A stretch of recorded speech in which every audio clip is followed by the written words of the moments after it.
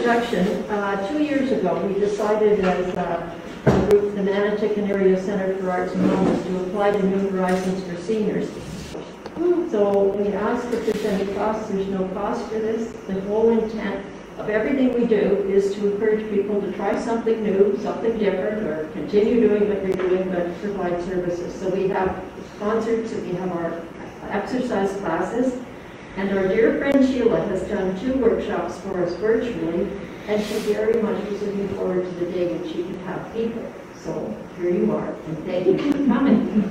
Sheila King um, is not only well-known in the Horticultural Society, in fact, she just recently received a distinguished award from the Ontario Horticultural Association, and she's on that honor roll, which is uh, just uh, something that doesn't happen easily. She's also an artist, and she is the artist who produced our MACAW painting that we have in all our um, insignia, and we certainly appreciate that as well. So uh, without saying much more, Sheila, I hand it over to you. Wow, good morning, everybody. It's lovely to see people that generally I don't know don't know me. And several of you said, I don't have green thumbs, and I've never done this before. And I don't know what I'm doing. Well, you don't have to know what you're doing because I'm going to demo one, a simple little round one. In front of you is this fantastic little dish, dish that's got spikes in the bottom. So when you put this green stuff in it, and push it down, it holds solid. You could have could have picked it up like that down in the water. The water in it has got flower food in it, and I've chopped them up a bit. So this morning I cut the blocks up, and the blocks are normally this size, and I got four out of each block. And um, you put them in uh, floral fed water, and never ever push them down in the water. Just let them float there. And within two minutes, they've sucked up the water and they sink and they're heavy. And you know that they're wet all the way through. So with your flower arrangement, when you take it home, all you've got to do is just check there's some water in there and top it off a bit with tap water and it will last for a very long time. If perchance you've got heating on, you know, suddenly it turns cold, we could have snow, the trick is to take your flowers away from the heated room and put it somewhere cool at night, down in the basement or in a cooler bathroom or something, or even put it in the fridge. I have made a shop or bouquet, which is actually on one of the videos I did for YouTube at for MACAW. And if you look at that, you can see I made that bouquet last a whole month by continually topping it up with fresh flower food water and picking up the things that die on me. Now everybody's got a pile of green. So to start off with, oh, let's first of all talk about the floral foam. This came from the dollar store in Manotick. Hooray, at last they've got it. But there's two kinds of floral foam. What you've got here is for wet flower arranging. And they call it just, just floral foam, loose floral, wet so to put fresh flowers in, you need the wet. This one, which is a more grey colour, is for dry arrangements. So you could do some of your Christmas silks or dried flowers or whatever. You need this. It's a bit harder, but it will not soak up water and your flowers will die if you put fresh material in it. So that's just for a, warning that there are two kinds. Um, the greenery that you've got there. First of all, you've got this, um, sorry, I don't know the names of those. That's why we taught yesterday. We should have said, and that is called. So if you look down it, if you pick that one up, you can see that go down a bit, down the stem. You could start cutting that up into bits like that. So you've got one, two, three of one stem. The bottom one leave a bit of stem on. So that will be short to go in your arrangement there. When you've got bits of stem left, should keep a couple of pieces because when you get to putting flowers in that might be a bit thin stem, it's very useful to poke a hole with this So I always keep a couple of sticks handy. So the next piece of greenery you've got is one of these, also name unknown, I've never seen this before. But a similar thing with this, I could actually cut that into one,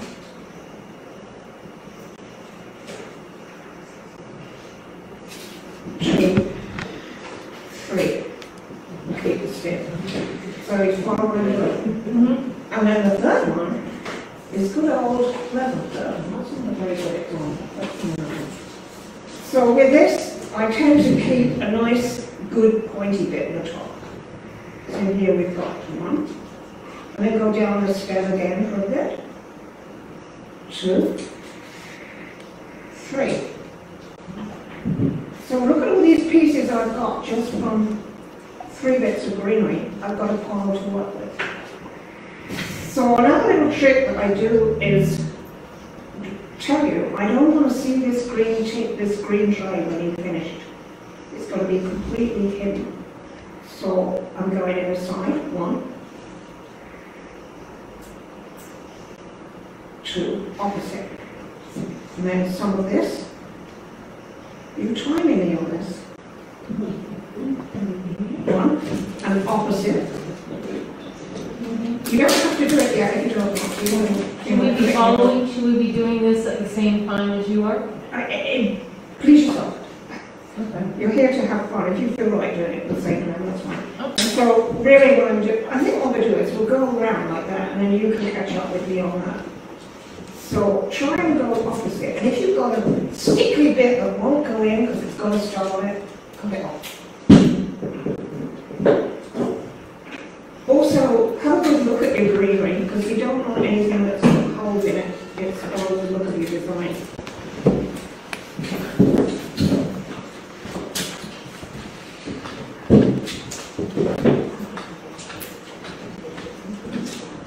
With that, I've managed to use up most of that. I'm trying to finish, you will not see that dish. Um, the other thing with this greenery, what's really good in floral design is different textures. So you've got this that's a bit more fluffier, this one that's got sweet green, and this one's pointy. Who's got a garden? Lots of good shrubbery in it. Do you all have gardens? Yeah? Yeah. No, no, you do, Anna. Take a walk around the garden and see what different greens you've got in the garden. Here's a good winter tip. I stole this from the church parking lot, but that's all I got it from. This is cedar hedge, and this is the outside that you see. If it's in near traffic, it might be a bit dirty, so you bring it in, put it in a bucket of water and wash it. When you turn it around the other way, it's a lovely lime green. So at Christmas time, when you're doing Christmas decorations, you've got a dark green and a light green just by turning it over. And actually, a lot of plants have got that. I mean, I'm using it with most of green up. But look at the difference in the colour from that to that. I could turn it round and think, I'm going to do just that. I'm going to try this one.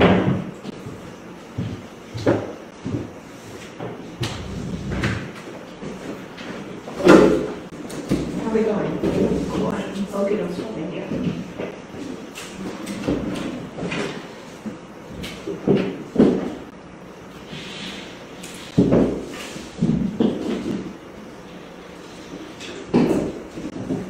Another good tip is to get up and look down on it. What am I looking at? Because this, this is in a, on a low table. and You want to be able to see where you put things. I'm going to save that for later because it might be a good film.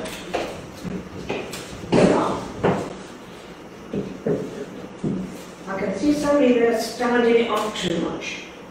Do you see what I've done? Yes. It's very sticking out of the edges.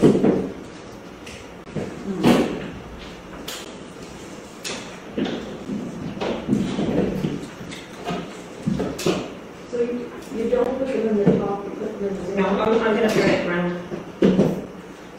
Has anybody got a bit of strength? No. Every time I take this one off, my hearing aids are falling. I'm just gonna bring it round and then you'll see what I mean.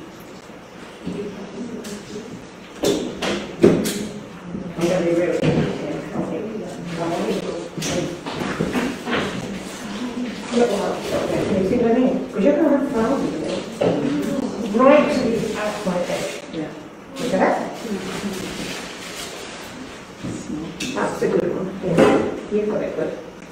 So keep going around the edge, so you're covering up the edge of the dish. Keep going a bit. Use the edges. See what Mama's doing? She's going right into there. Okay, I just wasn't sure if I'm cutting this piece down or just the the branches. Well, you can do this. Because you want some of it a bit thicker.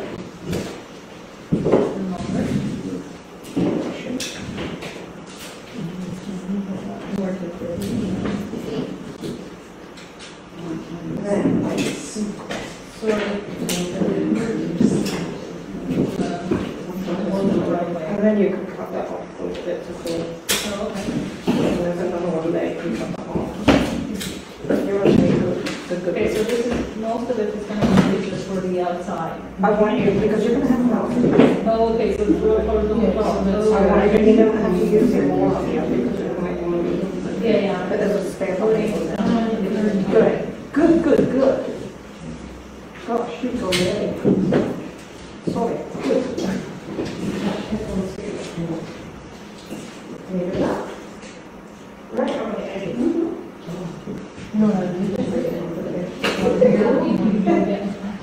Before, but on my own, It's very down big. there, on the workshop. So, yeah, just put them in, like, like sideways. Yeah, yeah. So, one end, and then go right down here. Did you use this one too? Yeah. Yeah, yeah. So, um, like, I wanna put some of these the other way, just because they're, uh, they're different colors, right? Yeah. They're textured.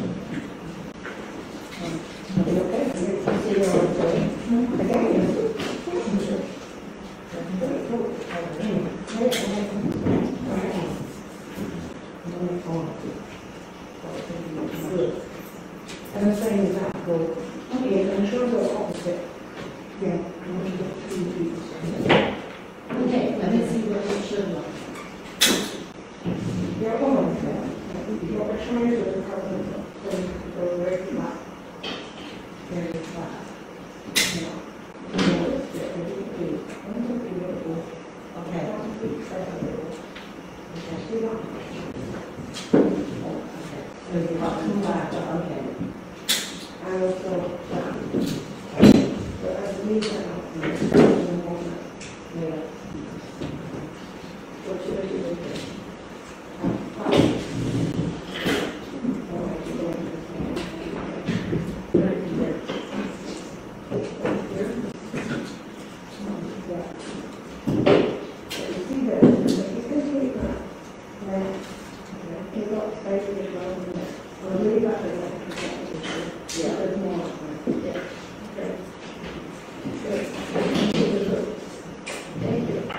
And this one goes really high. Okay, sorry. When you put the flowers in, you want it on the top.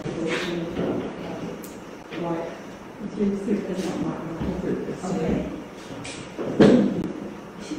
Your bag's in the way. Oh, I'm sorry. I didn't know. Yeah, nice. Oh, I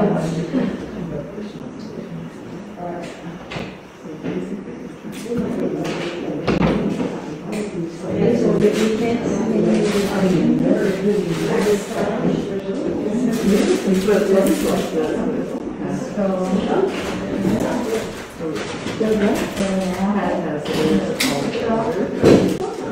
some butter.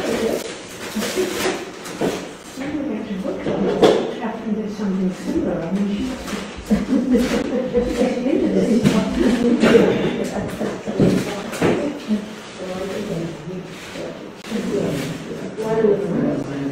It's not going up.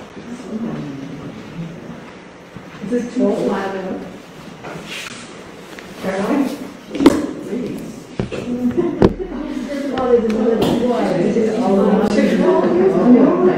No, it's all, it's, needs to have this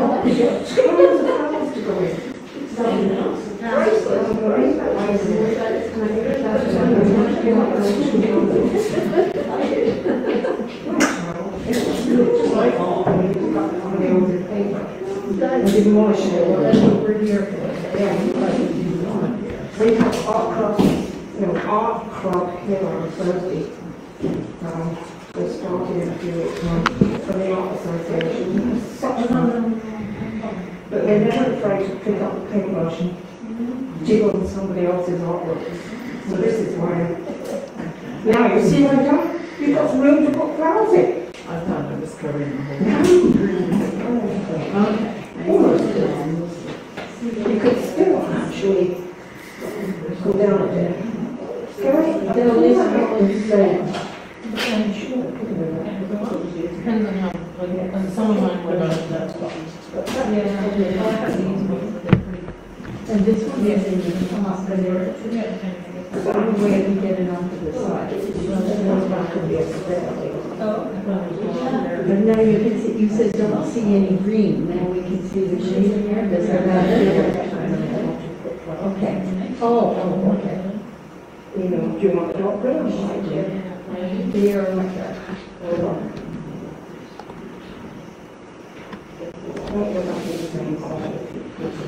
So there you go, you've got the basis to get going.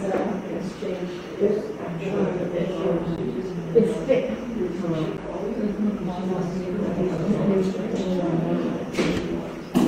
Um, That I'm not exactly sure. But I know that they, they applied, they got this grant, or this, among all the seniors, so it doesn't matter, but. Oh, I know. Well, it's for everybody.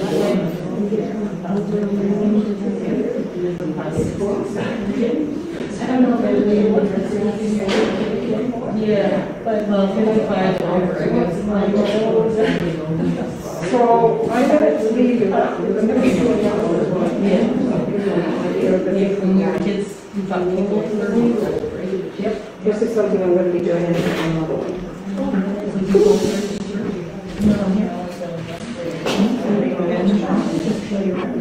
Okay. So, now, Tall, medium, and short. we're gonna leave that for a little while, and choose flowers in a minute. And I'll give you a quick lesson on what fun you can have, but with a different design. This is going to be a bit of an L shape. So what you're doing is a circular one, which can go on a dining table, and can be looked down on.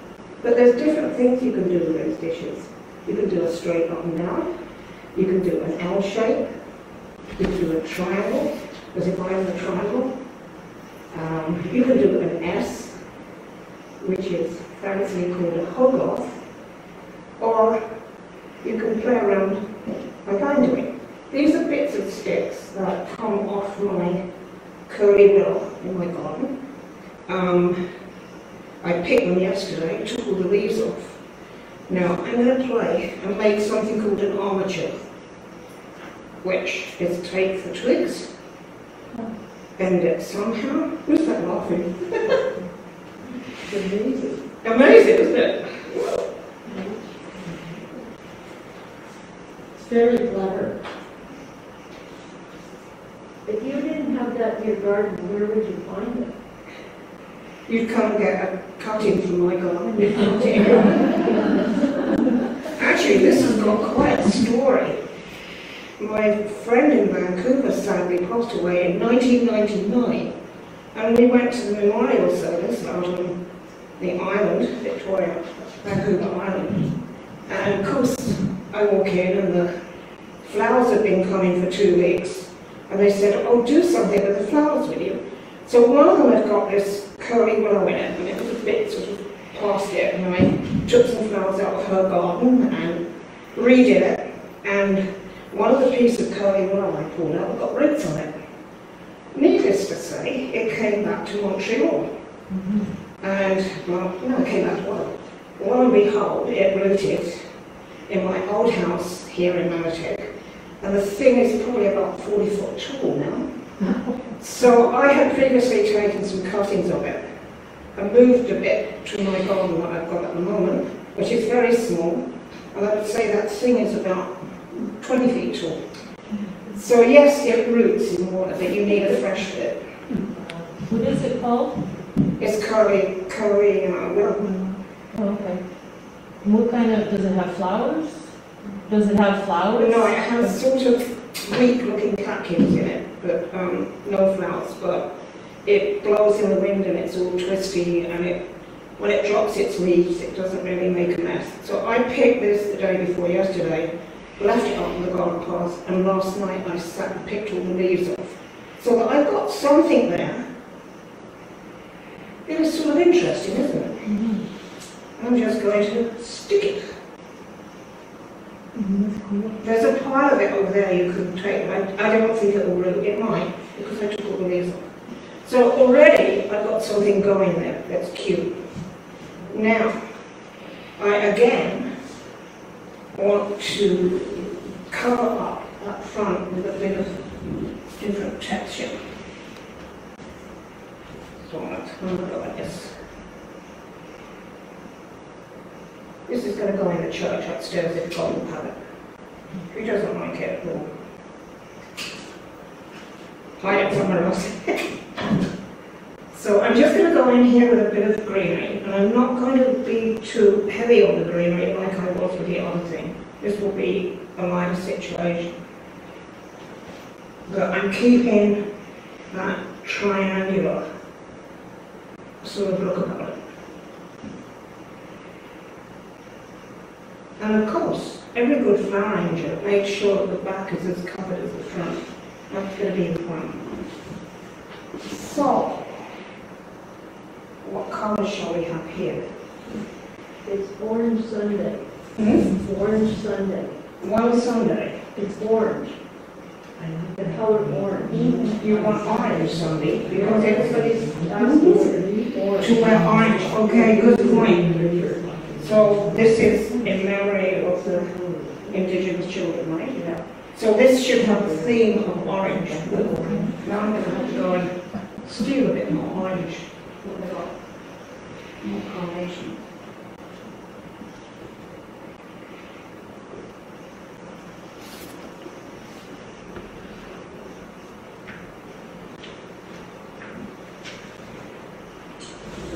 So thank you for telling me that, Catherine. So when you get these spray carnations, you don't just go north and plug them in, you can make lots of bits of them. One, two, three, four, five, six, seven. There's another trick with them too. This one isn't open very much. You can either blow on it, but I find that's a bit germy at the moment, or just gently tease it open. With any combination, with a big one too, you can tease it open to do what you want, or to look how you want it to look. When you push a, flower into the oasis where it's a bit bendy, don't try and push it in like that. Hold it right over the bottom. And it won't snap. This one too needs a little teasing open. Have you ever done that before? No, no. Sure it's. Good.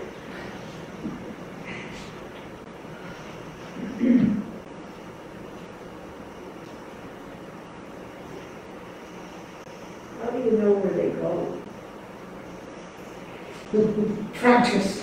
That's the only hmm? Well, It's the eye of the artist. I'm trying to keep that. How do I know where to go? Hmm. More times you do it, the easier it becomes. You know, suddenly, there's a splash of colour there. When, when I pick them up, they look like that. Not much colour at all. It's, these are a great long-lasting flower. And they were quite inexpensive, weren't they? Yes. We had a good time yesterday in Morpeth. Oh, the fish was great. Oh, good. Yeah, great fish department in Bothaven. No. Sometimes when you've got knobbly bits at the bottom, it's difficult to poke it in, so cut off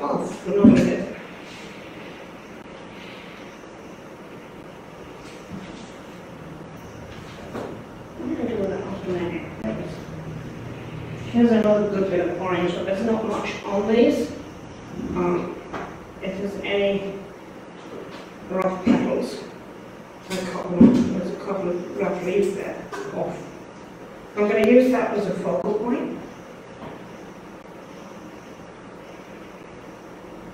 So we'll cut it quite short.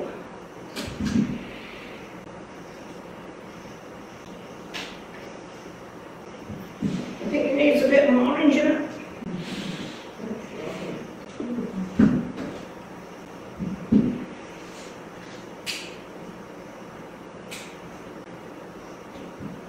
And if you've got nothing better to do, you can sit and poke the buds in as well. But I'll do that later.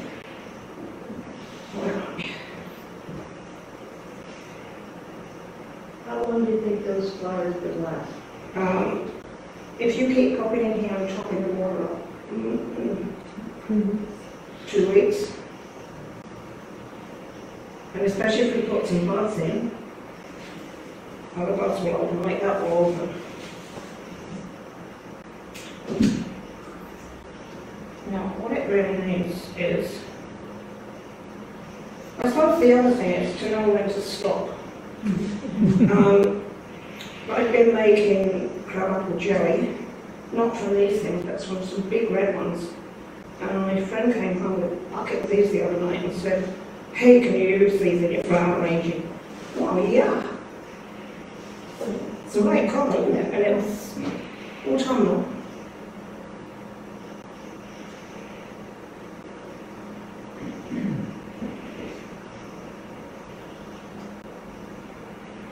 Stay quiet.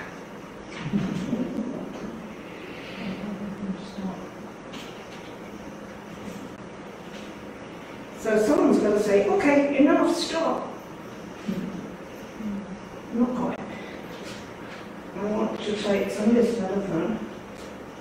you only put one flower as a focal point, or like that, the little one in the bottom you said was a focal point? Do you have to put one on the other side as well, or you just, is this for against the wall? This is going to go in the church, so it's just front So view. there's a back and a front to it? It, yeah, it's Oh, back and okay. front because in church it's just the peaking in front of it. Yeah. It. And it goes on a plinth and way, so. I'm just filling the bits of dish that I can see with this colour elephant, which is absolutely great because it's so light and airy. And you can just pick off the spell. There. So there, Catherine, is that okay? Beautiful, beautiful, yeah. So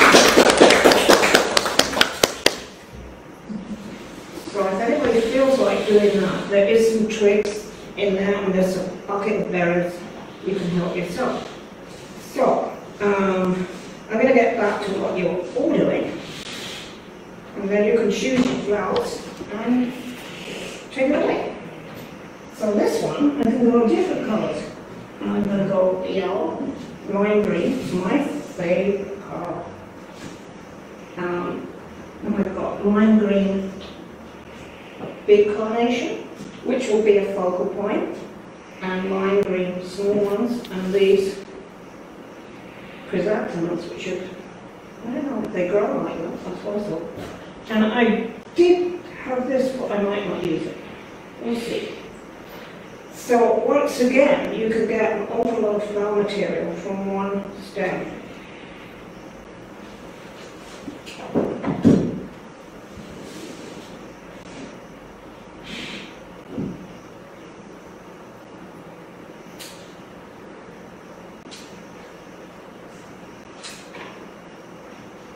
Who the flower last Saturday? You did, didn't you? You did too? Yeah, you, that's you I spoke to tonight Manatee, yeah.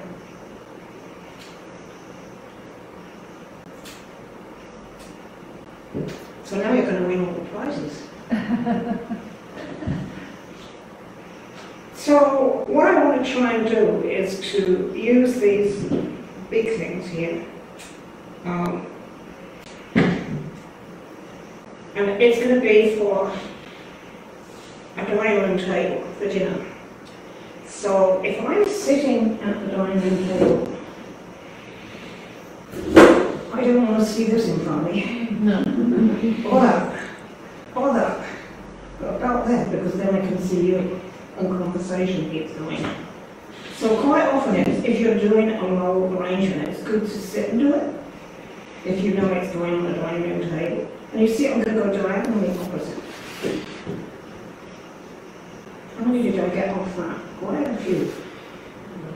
And also not to keep it flat on one height, up and down a bit, but not this one down. It's got to be down lower.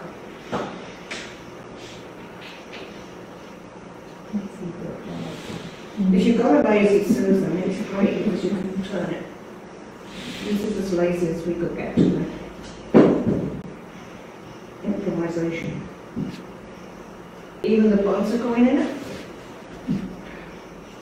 Sheila, can we get you to move that beautiful Oh, yeah, just a sec. Yeah. so we can see you do that? Sorry, sorry, sorry. I can see actually, it's probably a try to Is that in your way? No, it's okay. Thank you. There we go. At that.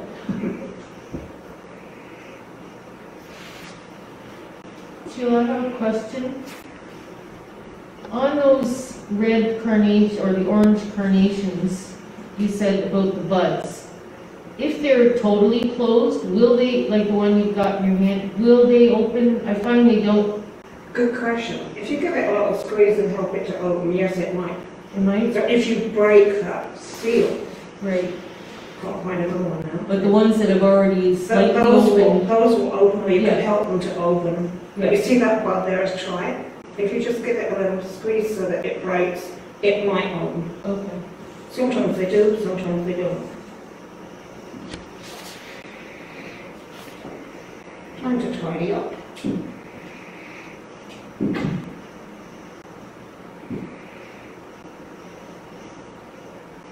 You put an uneven number of flowers in? We used to have this rule, three, five, seven. Nobody takes any notice of that anymore. I think we've forgotten how to. So here we go here to now, and really in a way this is good because this is picked up in the colour in the middle. Um, so I'm not scared of using this as well.